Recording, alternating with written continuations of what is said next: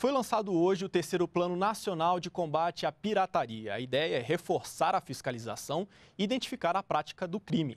Só para você ter uma ideia, apenas em 2012 foram apreendidos somente pela Polícia Rodoviária Federal mais de 200 mil CDs falsificados em todo o país.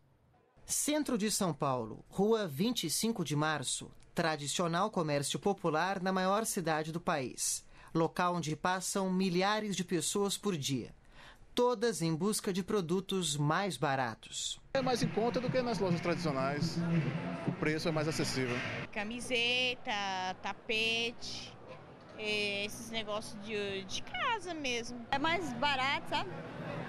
Porque é onde a gente mora não tem as coisas que a gente gosta, então aqui a gente pode escolher as coisas boas, coisas bonitas que a gente, que a gente vê, tem muitas coisas baratas. Né? Aí eu eu gosto de, de vir aqui, sabe? Eu trabalho aqui também, aí todo dia que a gente passa a gente vê coisas mais bonitas ainda.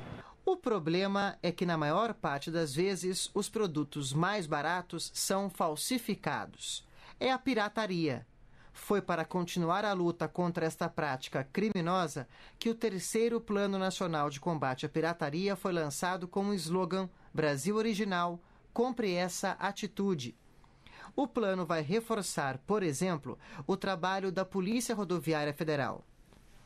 No ano passado, a PRF apreendeu quase 92 mil litros de bebidas, mais de 225 mil CDs, 3 milhões de cigarros, 184 mil litros de combustíveis, mais de 81 mil equipamentos de informática e quase 672 mil medicamentos falsificados. O terceiro Plano Nacional de Combate à Pirataria tem a meta de fazer uma ampla radiografia desse crime no país, já que os números que existem estão divididos entre várias instituições e são imprecisos.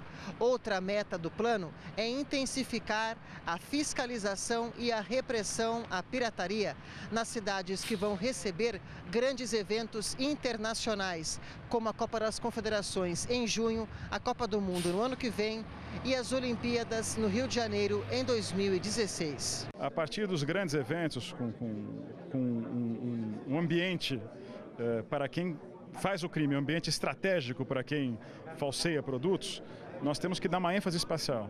Então, essa ênfase especial é, sobretudo, através da capacitação dos servidores e de agentes públicos dessas cidades, agora que são, são sede da Copa das Confederações, e depois para as 12 cidades que são sedes da Copa do Mundo.